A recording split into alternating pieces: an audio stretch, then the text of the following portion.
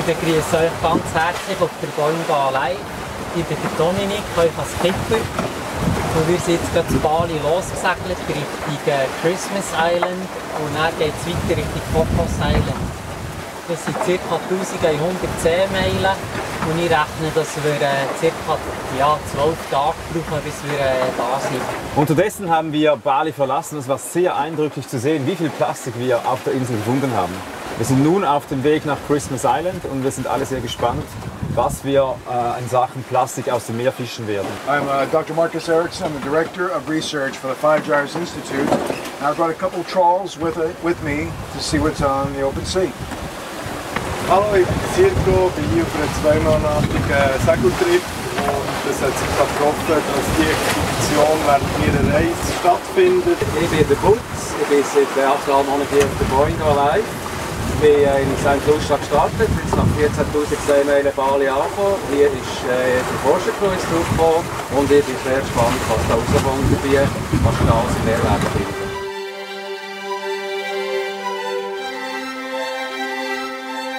Okay, ready? One. This is a debut. This is the first time this trawl has touched the water. Exactly. Ocean Care's brand new trawl. Deep dive. Count of three. One, two, three.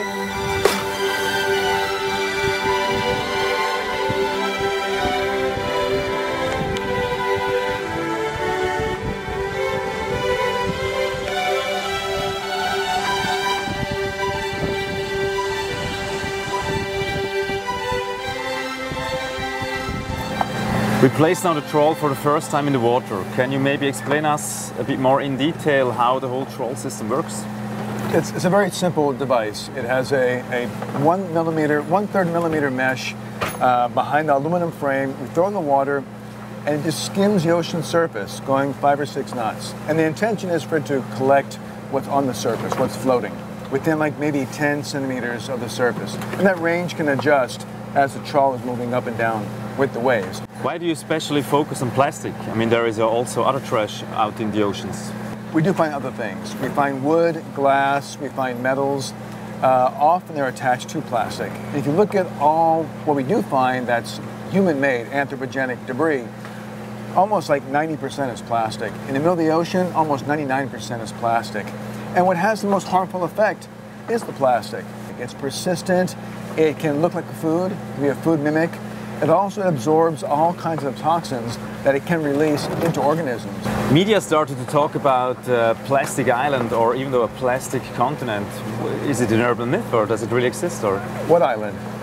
There's no island out there. And that's the interesting part of this, this whole science of plastics is that it began with this media sensationalized myth of there being an island of trash you can walk on. It does not exist. What's interesting is that really sparked a movement. It got the world talking about plastic trash in the oceans, these big giant islands. They didn't exist, but the idea of that, it got people to question the plastic industry, to ask their government, do something about it.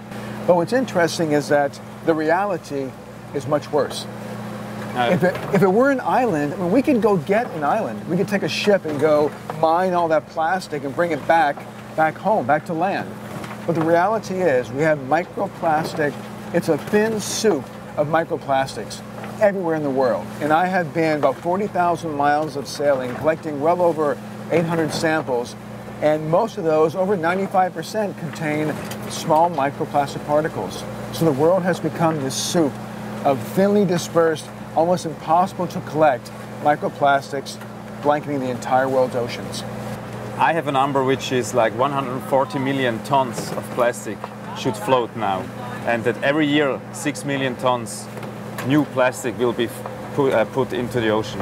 Is this are these correct numbers, or what can you tell me about that? Uh, One, one paper that was published two months ago estimated between 7 and 35,000 metric tons of trash was in the world's ocean. We also do macroplastics, so in total we estimate 270,000 metric tons.